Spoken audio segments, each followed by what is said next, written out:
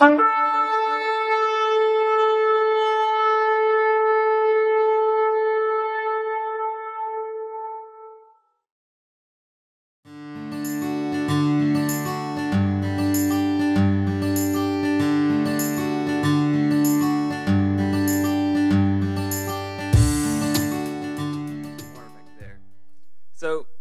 when you look at the Exodus story, last week, whenever we were reading the Exodus story, I just had things just flooding through my mind of, um, and you know, I've talked on it a few times before about how the Exodus story is that picture of salvation, right?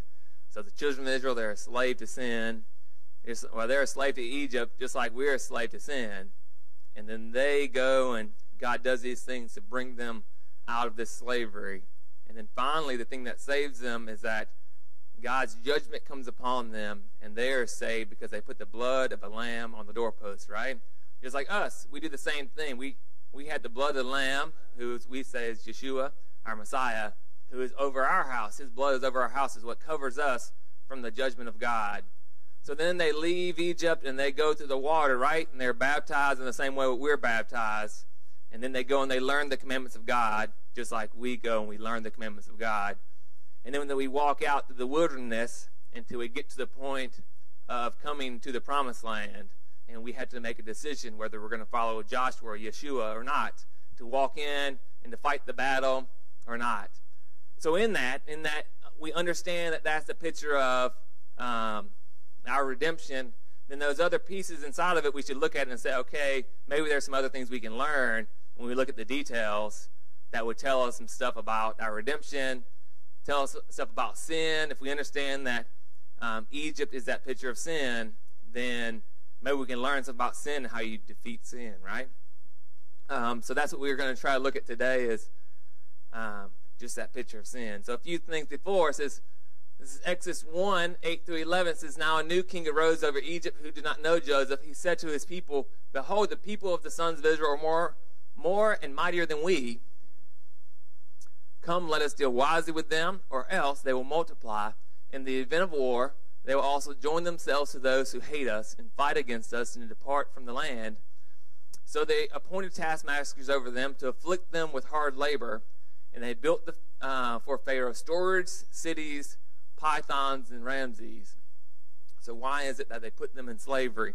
Why is it that the Israelites were put in slavery? Because they're worried about them multiplying. They're worried about them producing fruit right? So inside our life, how can we apply that to our life?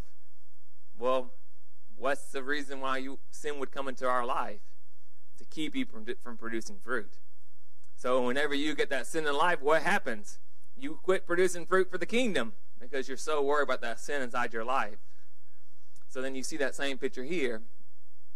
So then Exodus 3, 7, 8 says, The Lord said, I've surely seen the affliction of my people who are in Egypt and have given heed to their cry because of their taskmasters. Masters, I'm aware of their suffering. So I've come down to deliver them from the power of the Egyptians and to bring them up from that land to a good and spacious land, to a land flowing with milk and honey, to the place of the Canaanites and the Hittites and the Amorites and the Perizzites and the Hivites and the Jebusites. So who's going to come down and deliver us? God said he will. He will come down and deliver us. And but he sends Moses in this picture but we understand in the time to come that he himself is going to come deliver us. So then in Exodus 5, 15 through 23, so like this wording that's uses used is not in um, lightness. Everything, all of God's words have a purpose. A reason why he uses those words when he describes things. So Exodus 5, 15 through 23 says, Then the foreman of the sons of Israel came and cried out to Pharaoh, saying, Why do you deal this way with your servants? There is no straw given to your servants, yet they keep saying to us, Make bricks, and behold, your servants are eaten, but it is the fault of your own people. So whenever Moses and Aaron go to Pharaoh and they ask for them to let him go, then this is what happens, right? So we'll keep reading. It says, But he said, You are lazy, very lazy, and therefore you say, Let us go and sacrifice to the Lord. So go now and work, for you will be given no straw, yet you must deliver the quota of bricks the foreman of the sons of Israel, saw that they were in trouble because they were told, You must not reduce your daily amount of bricks. You must keep building for another kingdom, right? Says, When they left Pharaoh's presence, they met Moses and Aaron as they were waiting for them. They said to them, May the Lord look upon you and judge you, for you have made us odious in Pharaoh's sight and in the sight of his servants to put a sword in their hands to kill us. Then Moses returned to the Lord and said, Oh, Lord, why have you brought harm to this people? Why did you ever send me? Ever since I came to Pharaoh to speak in your name, he has done harm to this people, and you have not delivered your people at all. So this is something that's very common what happens in sin. And many of you, if you go witness to people, you're going to see the same exact thing happen. You're going to go and you're going to say, hey, look, you need to be set free from sin. And right when you do that, something's going to come and they're going to have be tempted and they're going to come and they're have all these people come against them and say, oh, no, no, no, no, you need to stay in this sin. You, why, are you, why are you listening to that person? And then when you, and you're living a life, you know, in sin, you start getting closer to God. You start seeing all these things happen to you to try to bring you back into sin and try to make it be where you are going to live and keep serving that sin. And I see that happen all too happen, uh, uh, all too often. Even in my life, when I see God start working, I see it start moving, I see it start being where it's like, oh, God's bringing people for me to speak to, or He's bringing, He's used me in His life. Then all of a sudden, I start getting temptations all around me, trying to bring me back into sin, and trying to say, oh, no, no, no, no, no. Focus on yourself. Focus on what you want to do. And that's the same thing because they're having the same problems out then. Right when Moses comes to him, say, "Hey, look, no, no, you can be free from this sin." Then, then what does Pharaoh do? He raises their burden and says, "Oh no, your burden is going to be much more heavy. You're going to be much more in sin, so that you won't be useful for the kingdom. You need to keep building for my kingdom instead of building for the kingdom of God." So, so right when God calls someone to start to save them, that they may fall into a greater slavery than before.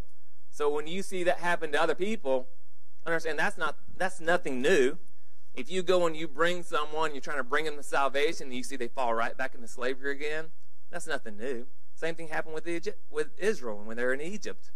It says right when God's going to use you for good, you should also expect to have someone try to bring you back into slavery too, because that's it's nothing new. That's the same thing that happened to Israel. So we'll go to Exodus 6, 6 through 9. Says, Say therefore to the sons of Israel, I am the Lord, and I will bring you out from under the burdens of the Egyptians, and I will deliver you from their bondage, and I'll also redeem you with an outstretched arm, with a great judgment. Anytime you see that word, an outstretched arm, you can just go ahead and uh, assume it's talking about the Messiah, the right hand of God, the, the arm that will go out to save you. Um, so here is just that prediction. It says, Then I will take you from my people, and I will be your God, and you shall know that I am the Lord your God, who brought you out from under the burden of the Egyptians. I will bring you to the land which I swore to give to Abraham, Isaac, and Jacob, and I will give it to you for a possession. I am Yahweh. So Moses spoke thus to the sons of Israel, but they did not listen to Moses on account of their despondency and cruel bondage. So why did they not speak to Moses? Because they were still in bondage. Because it got worse, and they said, "Oh, we don't want to talk to Moses, our representative." But that same thing happens now. You get start getting overwhelmed with sin, and you say, "Ah, I don't have time to pray. I don't have time to read the Bible because I'm so worried about myself. I'm so worried about this, what I want. Um, we'll read then Exodus 7 1 through 5. It says, Then the Lord spoke to Moses, See, I have made you as God to Pharaoh, and your brother Aaron shall be your prophet.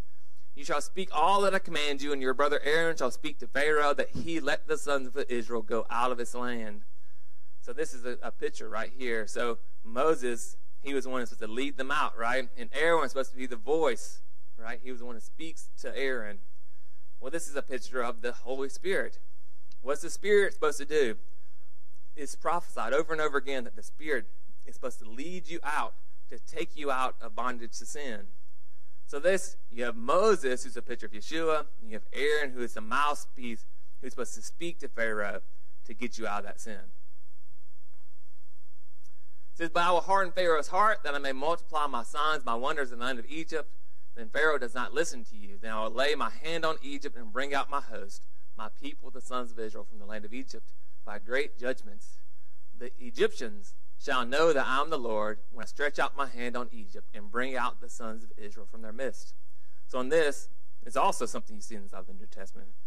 And the Egyptians are not what's putting the Israelites in slavery, right? Who's putting them in slavery? Pharaoh is. So Egyptians are the picture of the people, and the nations, right? Who are looking at you. Well, how are they going to know that you are God's people? It's because you are no longer in sin.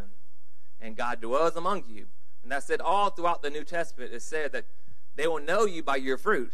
They'll know you because you are not stuck in sin. Well, that was said in the beginning in Exodus. That was said that that was going to happen. So we're going to go to Romans 7 14, 8 through 17. So I've really looked at this probably the wrong way. You always think that the enemy is sin, and we put our focus on sin, right? So in this story, you, we assume that Pharaoh is sin in our life. And we think that sin is just, just there's something out there, and that's the battle of me and sin, right? Well, if you really, when you read Romans 7, you see that really the enemy is my flesh, my sinful flesh. So, and we're going to read that now. It says, For we know that the law is spiritual, but I am of flesh, sold into bondage to sin. So we know that the law of God is spiritual. We know that my flesh is sinful. It says, For what I'm doing, I do not understand, for I am not practicing what I would like to do, but I'm doing the very things I hate. Like, I'm not doing, I don't even want to do this, but I'm doing the things that I hate. It says, But if I do the very things I do not want to do, I agree with the law, confessing that the law is good. So now no longer am I the one doing it, but sin which dwells in me. So I agree with the law, but I keep doing these things. So I agree that the law is good, but I'm not the one who wants to do this. It says, For I know that nothing good dwells in me, that that is in my flesh, for the willing is present in me, but the doing of the good is not.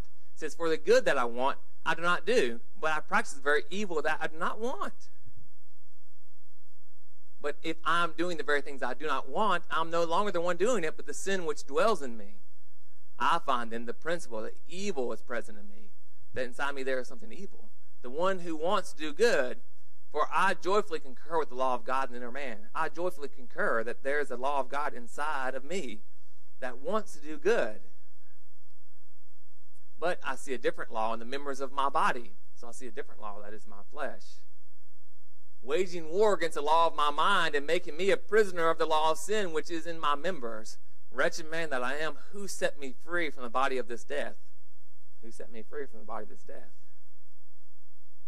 Thankful be to God through Jesus Christ our Lord. So then, on the one hand, I myself with my mind am serving the law of God, but on the other, with my flesh, the law of sin.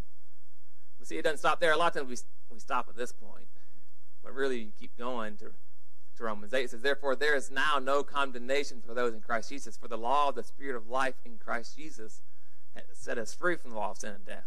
Set us free from that law that is sin inside our life. That flesh, He has set us free from that.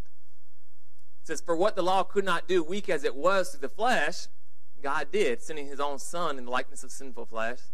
And as an offering for sin, He condemned sin in the flesh. So, Him, as an offering for sin, he condemned that sinful flesh of us. Does that make sense? It says, so that the requirements of the law might be fulfilled in us who do not walk according to the flesh, but according to the Spirit. Those, how is it fulfilled? For those who do not walk according to that sinful flesh, but those who walk according to the Spirit. Right? For those who are according to the flesh set their minds on the things of the flesh, but those who are according to the Spirit, the things of the Spirit. So, saying that those who are bound by this sin, they are constantly thinking about the fleshly desires. And those who are bound by the Spirit of God are constantly thinking about the spiritual things of God. It says, For the mind on the flesh is death, but the mind on the Spirit is life and peace. So if you constantly think about the things of this world, it will lead to death. But if you constantly think about the things of God and the Spirit of God, then it'll produce life and peace. So you say, Well, I don't have any life, I don't have any peace in my life. Well, there's a reason. You're probably focused on the wrong things. Because the mind set in the flesh is hostile towards God, for it does not subject itself to the law of God, for it is not even able to do so. So, if you are constantly focused on the flesh, what you want, you're not even able to walk out the things of God. You're not even able to walk out the law of God because you're constantly focusing on your flesh. Those who are in the flesh cannot please God. However, you are not in the flesh, but in the Spirit, if indeed the Spirit of God dwells in you. But if anyone does not have the Spirit of Christ, he does not belong to him. If Christ is in you, though the body is dead because of sin, yet the Spirit is alive because of righteousness. But the Spirit of him who raised Jesus from the, uh, from the dead dwells in you. He who raised Christ Jesus from the dead will also give life to your mortal body. So the one who gave life to Yeshua will also give you life, so you don't have to walk into that sin. bodies through his spirit who dwell in you. It says, So then, brethren, we are under obligation not to the flesh to live according to the flesh. For if you are living according to the flesh, you must die. But if by the Spirit you are putting to death the deeds of your body, you will live. So you understand that this is a process. When he says it says, but if by the Spirit you are putting to death the deeds of the body. As you go along, you're trying to put to death these things that you know are not of God. So it is a walk that I'm walking to get rid of these things. It says, For all who are being led by the Spirit of God, these are sons of God. For you have not received a spirit of slavery, like them in Egypt, leading to fear again, but you have received the spirit of adoption as sons, by which we cry out, Abba, Father. The Spirit Himself t- testifies with our spirit that we are children of God. If children, we're heirs, also heirs of God, and fellow heirs with Christ, if indeed we suffer with him, so that we may also be glorified with him. So I just want to read that to understand that the enemy we often think is this arbitrary thing called sin. The enemy is our flesh. The enemy is my desires that are not of him. And in this story, Pharaoh is flesh. So when you look at the story, then you must say, okay, what they're battling between Moses and Aaron Yeshua as Moses, Aaron as, as the Holy Spirit, Pharaoh as being flesh. So then it should help you understand the story when we read it. It give you a little more insight. Okay, what is God showing us inside this story? So, so now the Lord spoke to Moses and Aaron, saying, When Pharaoh speaks to you, saying, Work a miracle, then you shall say to Aaron, Take your staff, throw it down before Pharaoh, that it may become a serpent. So Moses and Aaron came to Pharaoh, and thus they did, just as the Lord had commanded. And Aaron threw his staff down, but Pharaoh and his servants, and it became a serpent. And Pharaoh also called for the wise men, the sorcerers, and they also, the magicians of the Egyptians, did the same with their secret arts. For each one threw down their staff, and they turned into serpents. But Aaron's staff swallowed up their staff. Yet Pharaoh's heart was hardened, and he did not listen to them, as the Lord had said. So Pharaoh is the picture of our flesh. What was it that kept Pharaoh from letting that spirit for free. So, Pharaoh, he saw this miracle that was done. He said, Oh, no, no, no. I don't need to let you free. He said, My guys can do the same thing. My flesh can, can achieve the same thing that your God does. So there's no need for me to let you go. But we see that now, right? We'll see people who stay inside their sin because they see a miracle done, and they'll stay inside their sin. But it's not from God because then you'll see a real miracle done by God and it will eat up that one that was done by your flesh or done by someone else's flesh. But I see that often. I see all these people who are still stuck in sin because they say, oh, we're seeing miracles. We're seeing God make someone's back feel better. Or seeing God make someone's leg is feeling better today because someone prayed for it. But he, the guy's preaching to me that I don't have to keep following after God. That's just, hey, grace got you. You don't need to quit living in sin. Well, they used the same thing back then. It's the same thing back then that they use things to keep you in servant to Moses. Mean, not into Moses, into Pharaoh, to keep you living for Moses. I mean, for Pharaoh. So the other thing, um, you see, whenever God calls, you just now turn me up pretty loud. I'm a little hot. No um, you see when God brought Moses, he did two things to show him that he was God. He said, well, I'll show you two things. So one, he said, stick your hand in your jacket. And he came out and it was what? Leprous. Which leprous is a picture of what? Sin. So then he put it back in, he took it out, and it was clean. So another thing he did, he took a stick, which is a picture of what? A stick you often see as a life, or you see this like the, the tree of God, or the you see that, um, and he turned it into a snake which we also a lot of times associate with sin, and then brought it back up into a stick again. So both of them are like these pictures of cleansing of sin that God makes as proof of who He is. It's like I have this thing that I'm going to cleanse you of sin. Before He even does this, that's the first sign He shows him. And even that's the sign that He shows Pharaoh, is that, hey, I'm going here, showing you this picture of sin, and taking you back up into life, this stick. So then, Exodus 7, 20 through 21. So now we're going to go through some of the plagues and look at them and see what God uses to get us out of that sin. So it says, So Moses and Aaron did even as the Lord had commanded, and he lifted up the staff and struck the water that was in the Nile, and the sight of Pharaoh and the sight of his servants and all the waters that was in the Nile was turned to blood. The fish that were in the Nile died, and the Nile became foul, so that the Egyptians could not drink water from the Nile, and the blood was through all the land of Egypt.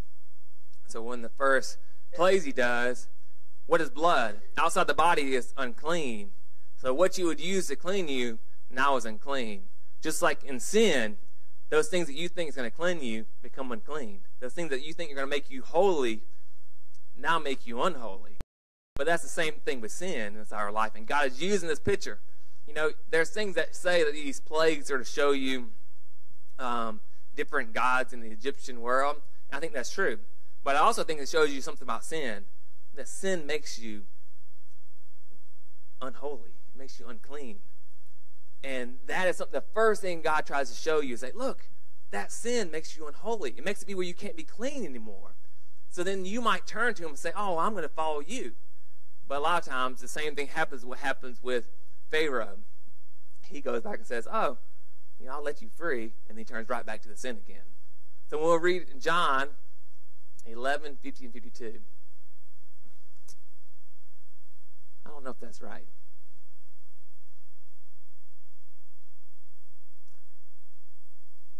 I think I left it in there from last time. So here it says, some, sometime, something that is clean, that cleans, turns into something that is unclean. Talking about blood. It says, after that, in verse 25, it says, Seven days passed, and Lord had struck the river. Um, so when God turned it into to blood, it said that seven days passed from when he turned it to blood to when it became a river again. So we understand that as there was sin in the beginning, in the first year, and then seven days passed before God then made that clean again. But that's just uh, extra jewel there for people. And God brings about things to help release you from sin. Just like this, God often shows you the effects of sin for eternity by showing you inside your life little things that bring you and say, oh, look, that's making you unclean.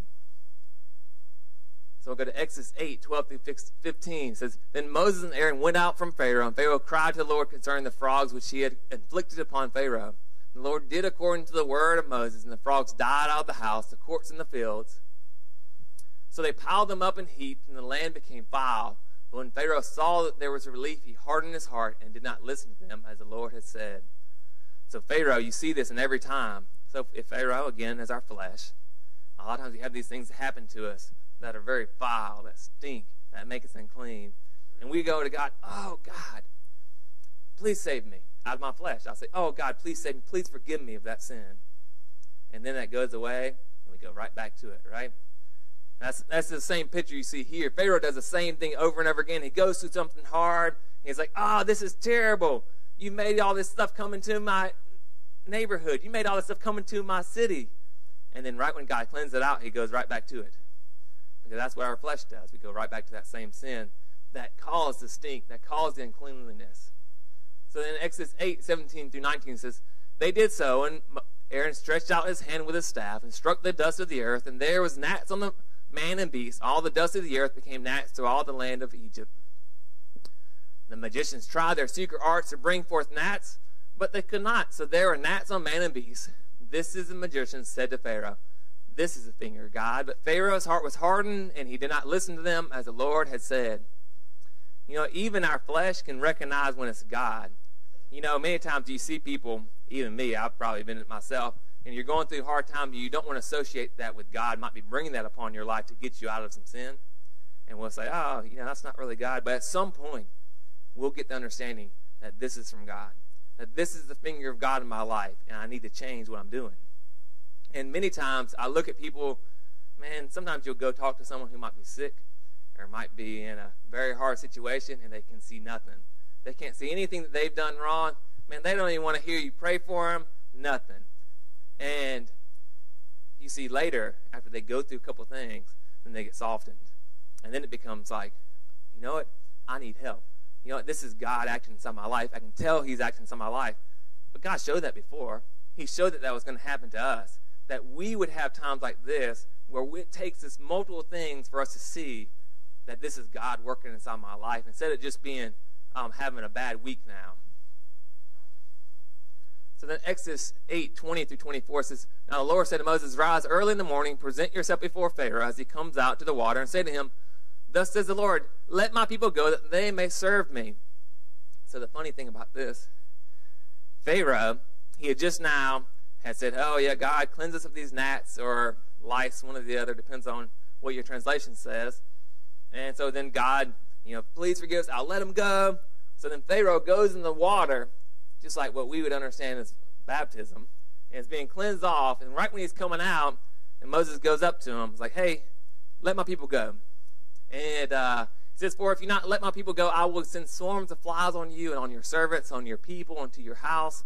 And the houses of the Egyptians will be full of swarms of flies, and also the ground on which they dwell. But on that day I will set apart the land of Goshen, where my people are living, so that no swarm of flies will be there, in order that you may know that I, the Lord, am in the midst of the land. So I will put a division between my people and your people. Tomorrow the sign will occur. And the Lord did so, and there came a great swarm of flies into the house of Pharaoh and the house of his servants, and the land was laid waste because of swarm of flies in all the land of Egypt. So you look at just Israel, because everything comes back to Israel, right? And God did this often. Every time they lived in sin, God always sent this people that would come and then attack Israel. And he does it to even nations now. Nations that are living in sin, God will bring people in to destroy that nation. But he always does them. He always leaves a remnant of his people. He always does. And not just in a personal way, you see that in each of these plagues that God brings, he also does the same thing with Israel. Over and over again, I didn't even try to count it out you see that they leave, they come back to God. They leave, they go into sin again, they come back to God, they leave to go into sin again. And you see that multiple times that these nations will come and destroy the land of Israel. They'll come into the land of Israel and destroy it. Golly, I wish I would have thought about that now to see how many times that they were overtaken by some kind of animal inside this and try to compare it to when Israel was overtaken by some kind of nation. Because I got a strange suspicion that it would always uh, it would tie out. So if someone wants to do that, they can. Exodus 9, 4 through 7 says, And the Lord will make a difference between the livestock of Israel and the livestock of Egypt. So nothing shall die of all that belongs to the children of Israel. And the Lord appointed us that time, saying, Tomorrow the Lord will do this thing in the land. So the Lord did this thing on the next day, and all the livestock of Egypt died. But of the livestock of the children of Israel, not one died. Then Pharaoh sent, and indeed, not even the ones of the livestock of the Israelites was dead. But the heart of Pharaoh became hard, and he did not let the people go. You know, when Israel was leaving Egypt, why was there a reason for them to stay? They had to come to the understanding that God will take care of us, and that this thing that looks like it's always going to be good this thing that it looks like has all the money, has all the the uh, grain that we need, has all the livestock we need, that God destroyed it all. So then what was left for them to depend on? Nothing. God does the same thing in our life. Many times that we get put into a situation in that world, the things that we depend on, God removes that from our life.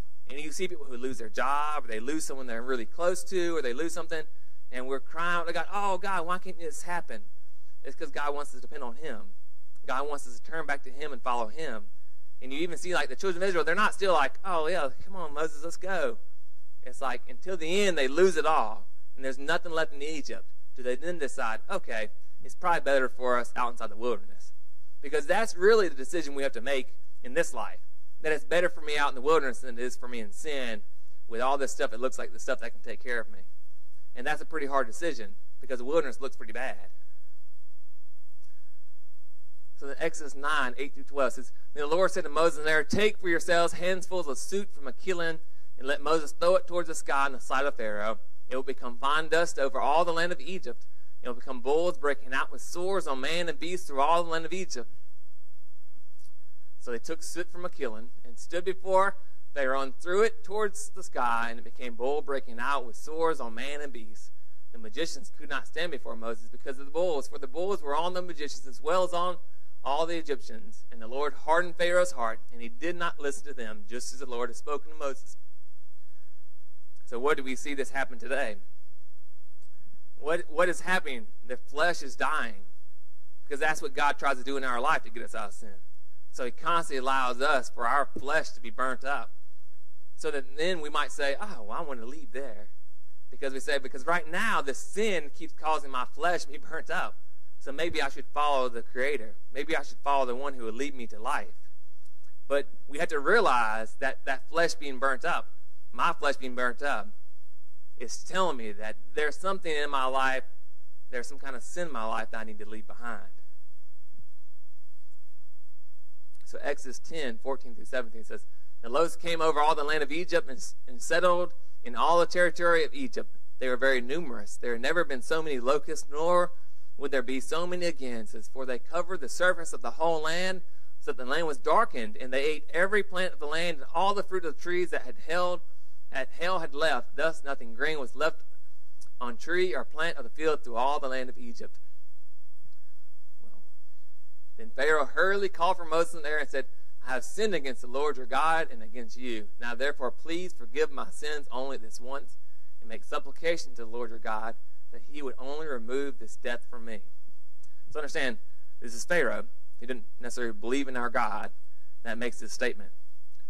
And it's a picture of our flesh that we will do many things, we'll say many things to God to get out of a hard situation. And I've been right there where I say, Oh, God, I have sinned against you, Lord, God, and against you. Therefore, please forgive my sin only this once and make supplication to the Lord your God that he will only remove this death from me. We say that, right? We say, Oh, God, please forgive me from this. But we have to, even here, God hardens his heart. He strengthens his heart. He says, Pharaoh, I know inside your heart you do not want to leave that sin. I know that you you're only saying that to get out of this hard situation. You're only saying that because you don't have any food left. That's the only reason you're saying it. But God's trying to show you inside your heart that, look, He's the one who gives life, He's the one who gives food. And many times we get brought to that situation where we lose that thing, lose that thing that might we say, oh, well, I need that food or I need that money, I need this, so then I must trust in Him. So Exodus 10, 21 through 23, it says, Then the Lord said to Moses, Stretch out your hand towards the sky, that there may be darkness of the land of Egypt, even a darkness which may be felt. So Moses stretched out his hand towards the sky, and there was thick darkness in all the land of Egypt for three days.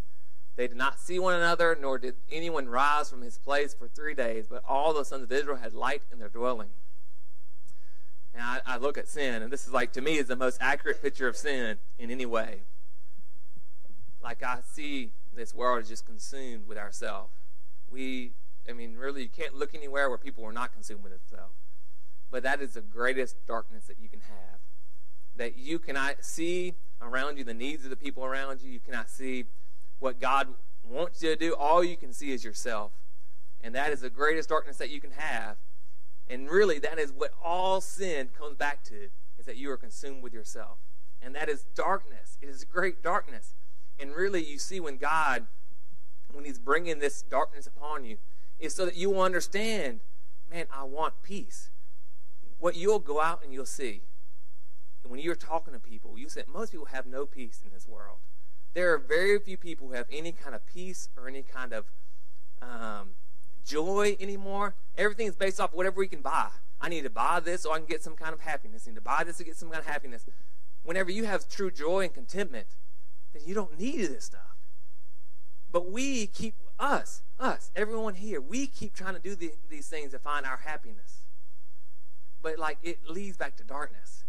And it leads back to depression and it leads back to now I hear people saying, Oh, this person's struggling with depression. Yep, it's because we're living in a world in our sinful nature and we're turning towards our sinful nature instead of turning to the one that's going to give us life and peace.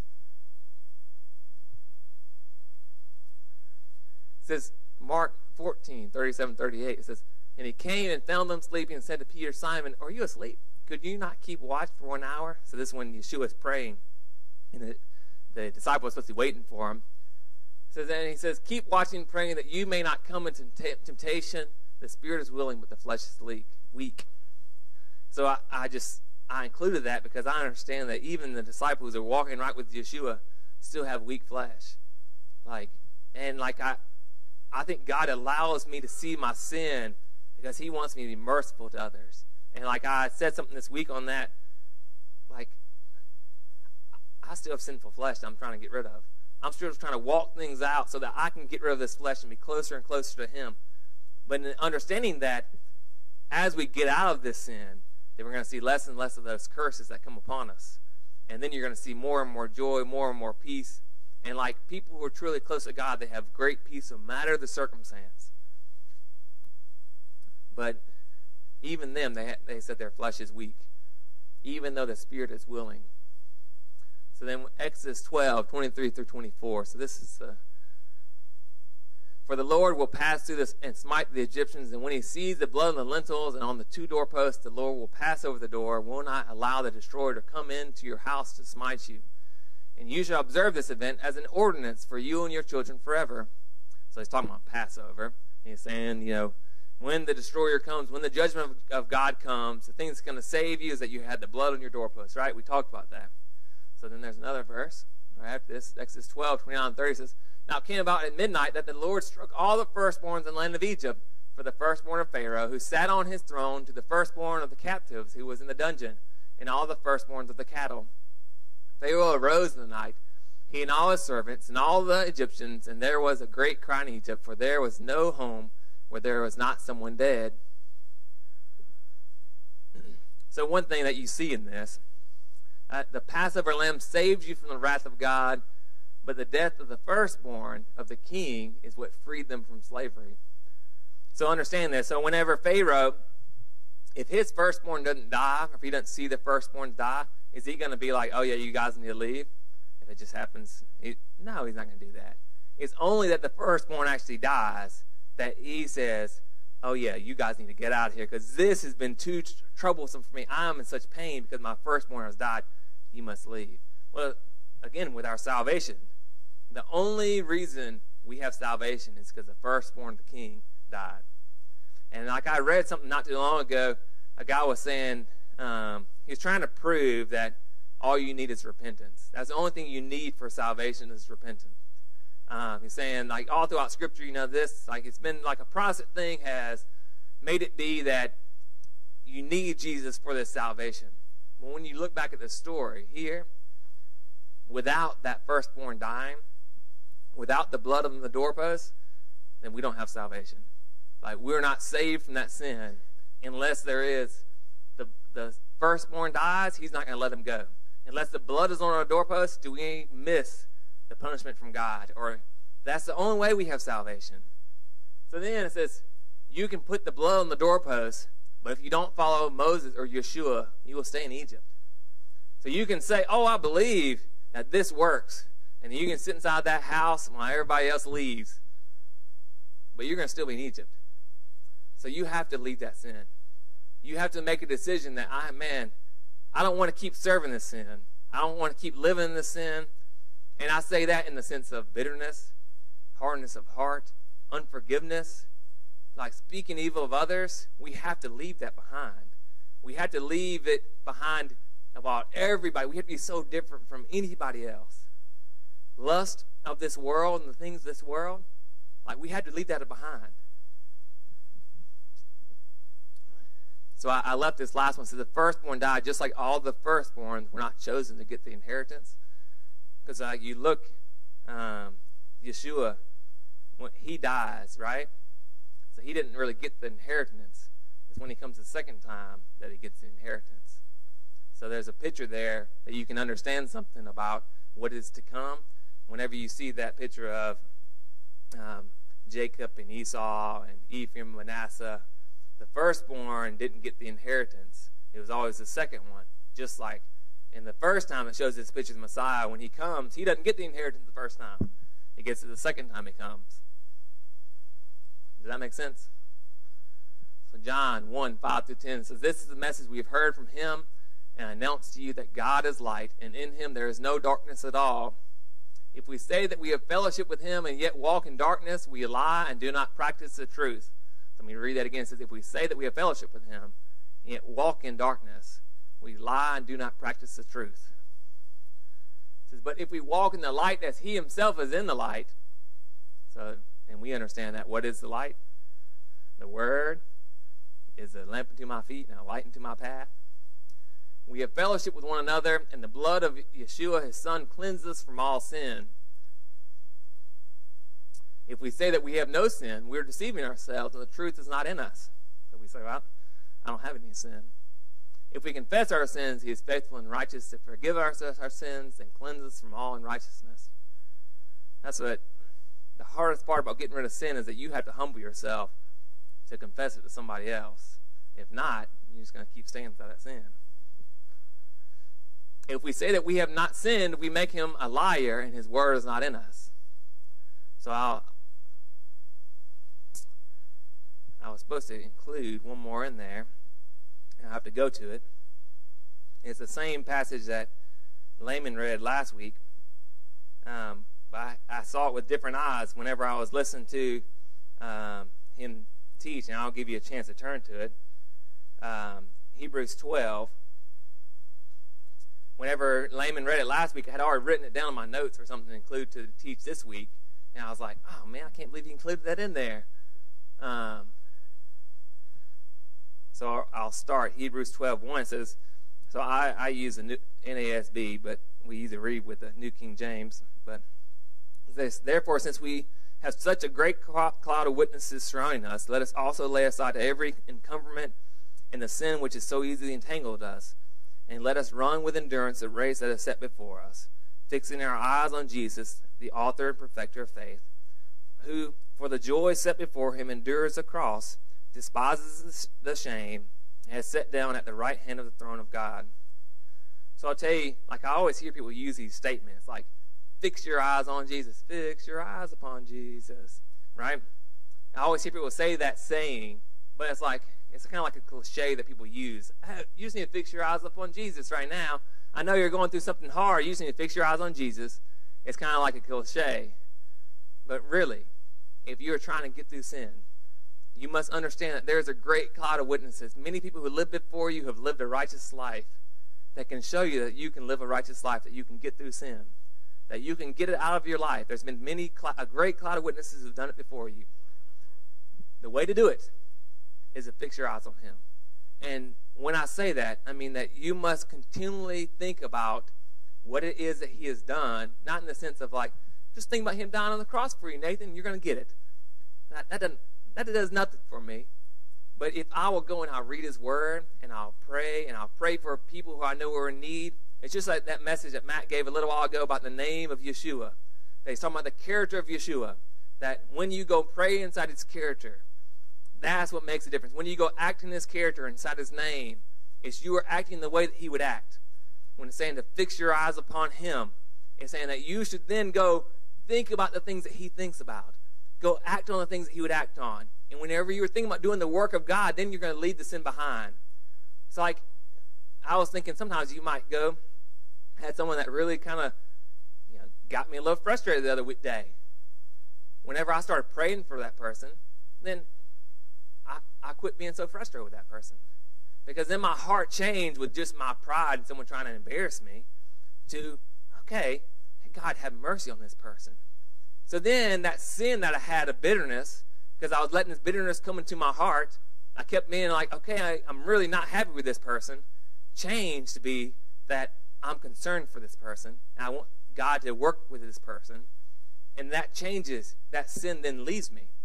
I don't have that sin.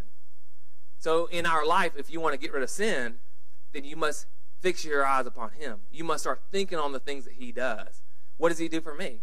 That he would pray upon my behalf. So then, if I'm going to do something different, I must start acting differently. If I want to like, get rid of sin, then I have to act differently. I got to focus on those things.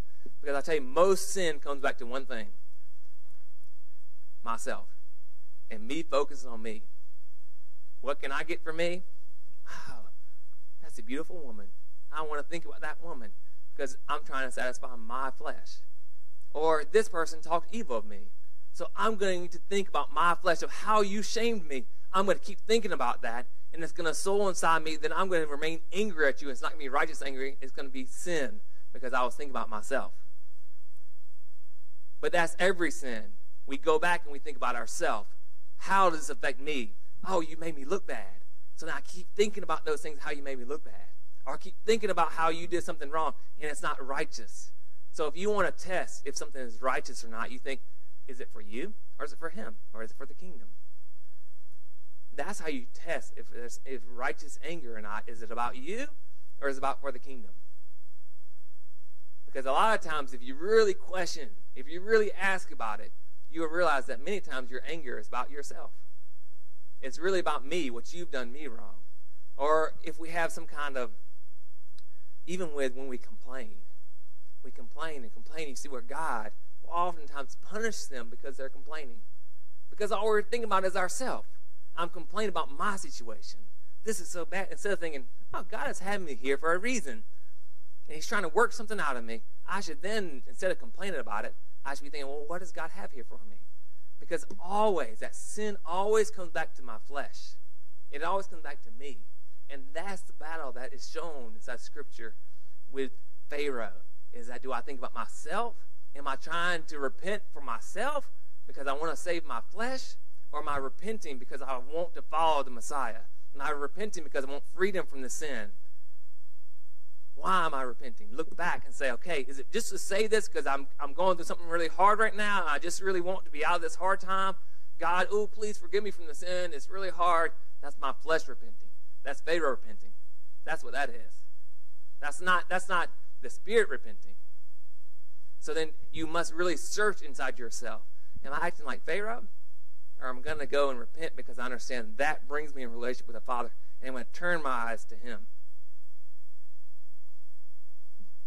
So we'll keep reading. Verse 3 it says, For consider him who has endured such hostility by sinners against himself, so that you will not grow weary and lose heart.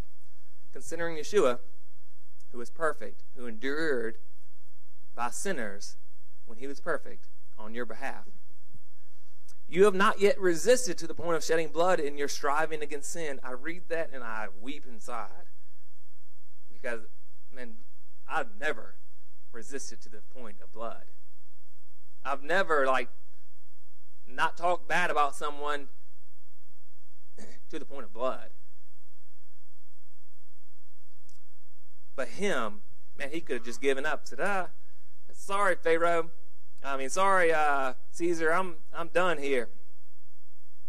And you have forgotten the exhortation which is addressed to you as, son, as sons. My sons, do not regard lightly the discipline of the Lord nor faint when you are reproved by him. For those whom the Lord loves, he disciplines, and he scourges every son whom he receives. So in this story, you see that who is inside the first punishment? Israel is. God punishes them so that they will say, Oh, I want out of this place too. This place is bringing curses upon my life. I don't want to be in this place. Same thing with us said, It is for discipline that you endure. God's deals with you as with sons. For what son is there whom his father does not discipline? But if you are without discipline, of which all have become partakers, then you are illegitimate children and not sons. So essentially, if if you aren't punished from your sin and you don't see God punishing you for your sin, you're an illegitimate child. Like, whenever I sin, I get very, I always understand something's about to come and not to be in fear because I understand God is trying to turn me away from my sin. So, like for us, when you sin, you should understand, oh, all right, something's coming with this because I understood I shouldn't have done that. Just like my child, when they do something wrong, they often run off because they understand something's coming with it. But for me, as a father, I just want them to quit doing that. Like, because I love them, I'm trying to turn them away from that so when they grow up, they'll be loving and kind and merciful. so we're in 8. But if you are without discipline, of which all have become partakers, and you are illegitimate children and not sons, furthermore, we had earthly fathers who disciplined us, and we respected them. Shall we not much rather be subject to the Father of spirits and live? For they disciplined us for a short time, as seems best to them. But He disciplines us for our good, so that we may share His holiness. So why does he discipline us? So we can be holy as he is holy. All this discipline from the moment seems not to be joyful, but sorrowful. Yet to those who have been trained by it, afterwards it yields a peaceful fruit of righteousness. Therefore, strengthen the hands that are weak, in the knees that are feeble, and make straight path for your feet, so that the limbs which are lame may not be put out of joint, but rather be healed. So essentially saying, strengthen the legs that are walking on that straight path. You yourself, strengthen them. Read His Word, pray, get close to the Father. So when you are walking down that path, you will walk with straight legs, and you will walk on the path straight, not with feeble knees. I have that verse posted in front of my computer at my office because I always think strengthen your knees, strengthen your legs. So we'll end. Don't go back to sin because it's trying to keep you to be unfruitful for the kingdom. Don't go back to it. The whole purpose is so that you won't be used by God. The whole purpose is like, oh, if I can get them back into sin, then he, they're not going to build up this kingdom to fight against me. So in when you think about that, it kind of thinks like, man, I want to be used by the kingdom of God. I want to be used by God. So I'm not going to have this sin in my life. It says you have to keep your eyes on the example. Like you have to keep looking to Yeshua. You have to keep looking to him. Whenever we start looking at the world and what you put in to your life, if you keep putting in things into your life that doesn't look like him, then that's what's going to come out. So, like, if you're constantly talking about one thing and you're not talking about him, it's probably because you put a lot of things inside them that's not about him. And that's going to make a big difference about what comes out. So, and I see that w- with my life, and I see it with lots of other people's life. You usually don't have to tell me anything about you reading scripture or not, or you praying or not, because I can usually tell by what's coming out of your mouth. If you're constantly talking about the same thing that's not about Him, I understand that's what you've been feeding to yourself for a long time. But He can see the same thing. So you can see it with your kids. This is what you've been feeding yourself. So you can look at yourself, and if you can take an accurate assessment of yourself, you say, What's coming out of my mouth? What am I always talking about? What's always important inside my life? And you can tell inside your life if you've been putting in the Word of God, if you've been praying, if you've been, if you're, so if you've been praying for other people, you're going to be merciful because you've been praying for them. If you hadn't been, you're not going to be very merciful. So when I'm not merciful, I usually know it's because I'm not praying for people. If, if I'm not spitting out the word of God when I'm talking to people who are going through hard stuff, it's probably because I hadn't been putting it inside my heart, and that's not the first thing I'm going to when I hear something from somebody else. So we got to take an accurate assessment of ourselves because look, pretty soon it's going to be Passover season again. Pretty soon it's going to be the time that we stand before God again. So we have to continue to prepare ourselves. Hey, it's going to come as a thief in the night. So I don't know if that was a good one or a bad one, but um, hopefully, it blesses you guys. If y'all would join me in prayer. Father, you are a great King. You are mighty and you are wonderful. And we need your Son.